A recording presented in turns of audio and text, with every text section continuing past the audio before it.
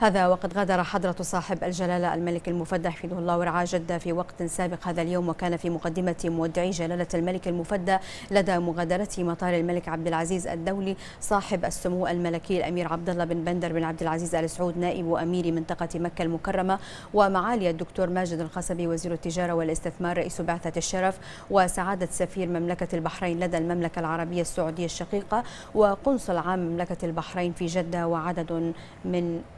كبار المسؤولين.